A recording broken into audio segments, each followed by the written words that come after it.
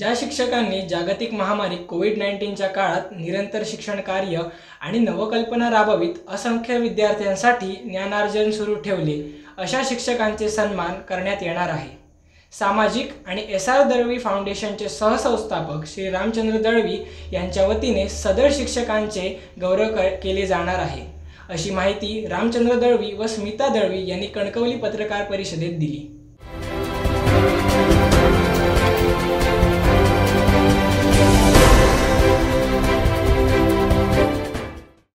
विद्यार्थी हितासाठी महामारीच्या काळात केलेले नाविन्यपूर्ण कार्याचे छायाचित्र किंवा ध्वनिमुद्रण सह केवळ दोनशे शब्दांमध्ये टीचर स्टॉक या ॲपद्वारे सादर करावे. शिक्षकांनीही याच ॲपद्वारे वरील अटींसह नामांकन भरणे आवश्यक आहे. या प्रत्येक श्रेणीमधून प्रत्येक दोन शिक्षकांची निवड सदर पुरस्कारासाठी केली जाणार आहे. तीस सप्टेंबर दोन हजार एकवीस पूर्वी नामांकन सादर करणे आवश्यक आहे. आपल्या सहशिक्षकाला पुरस्कार मिळावा यासाठी संपूर्ण राज्यातील शाळा तसेच महाविद्यालयातील इतर शिक्षकांनी यासाठी मतदान करावे. टीचर स्टॉक या ॲपद्वारे मतदान करता येईल. शिक्षकांच्या मतदानाला नव्वद टक्के गुण तर पुरस्काराच्या निवड समितीचे दहा टक्के गुण विचारात घेतले जाणार आहेत. सात ऑक्टोबर रोजी या पुरस्कारप्राप्त शिक्षकांची नावे मुंबईत होणाऱ्या कार्यक्रमात जाहीर केली जातील.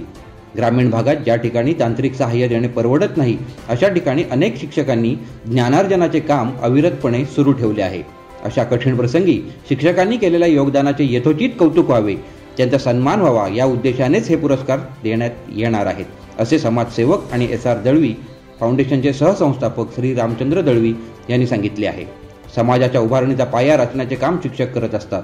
पाच ट्रिलियन डॉलर्स अर्थव्यवस्था निर्माण करण्यासाठीचा नवीन भारताचा आधारस्तंभ असेच या शिक्षकांना संबोधले पाहिजे असेही दळवी यांनी पुढे सांगितले. एस आर दळवी फाउंडेशन हा फक्त आणि फक्त टीचर्सच्या वेलफेअर एम्पॉवरमेंट आणि त्यांच्या स्किलवर काम करतं.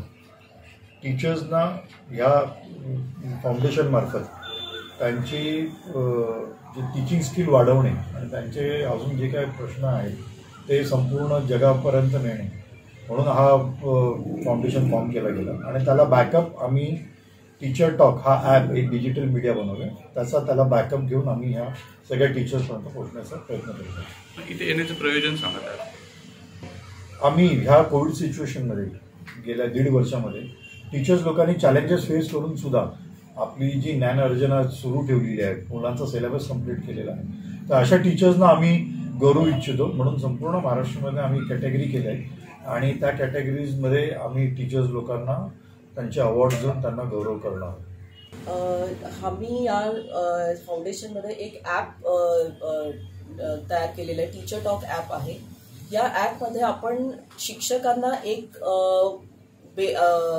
एक प्लॅटफॉर्म देतोय की ज्या प्लॅ डिजिटल प्लॅटफॉर्म देतोय कारण आतापर्यंत आपण जर बघितलं तर शिक्षकांसाठी डिजिटल प्लॅटफॉर्म तसा नाही आहे कुठेही पण या टीचर टॉक ॲपमुळे काय होतंय की बऱ्याच राज्यातनं बऱ्याच संपूर्ण महाराष्ट्रातनं सुद्धा बरेच टीचर्स या ॲपवर एकत्र आलेले आहेत. आणि टीचर्सच्या ज्या काही संकल्पना आहेत जे काही टीचर्सच्या स्वतःचे नवीन प्रयोग आहेत ते या ॲपवर येत आहेत.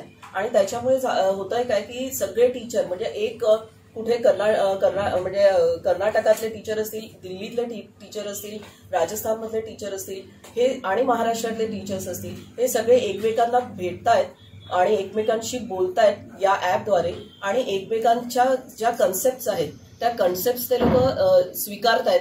त्यांना नवीन काहीतरी बोलायला आणि बघायला मिळत आहे आणि नवीन एक काहीतरी नवीन शिक्षक शिक्षण क्षेत्रामध्ये काहीतरी नवीन आपण कल्पना एक स- इथे निर्माण करतोय असा या ॲपचं एक उद्दिष्ट आहे.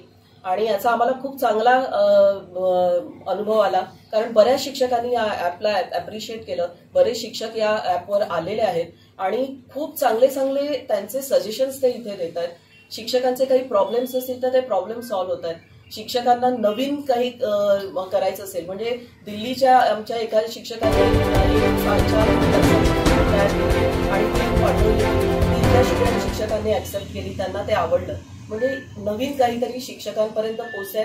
शि- एका शिक्षकाद्वारे ते हजार लोकांना मिळत आहे आतापर्यंत आपल्याकडे तीन हजार शिक्षक ह्या ऍपवर आलेले आहेत. आणि ते सगळेजण हे ऍप बघत असतात. त्यामुळे एक नवीन कन्सेप्ट लोकांपर्यंत पोहोचते आणि लोकांना नवीन चांगली माहिती मिळते प्लस शिक्षकांचं अप्रिसिएशन आमच्याकडनं आम्ही करणारच आहोत. आणि त्या शिक्षकांकडनं पण होत आहे म्हणजे एका शिक्षकाचं अप्रिसिएशन तीन हजार लोकांकडनं होत आहे आणि हे शिक्षकांसाठी कुठेतरी खूप मोठं चांगलं उद्दिष्ट साध्य होत आहे असं आम्हाला वाटतं उमेश परब आपली सिंधुनगरी न्यूज कणकवली.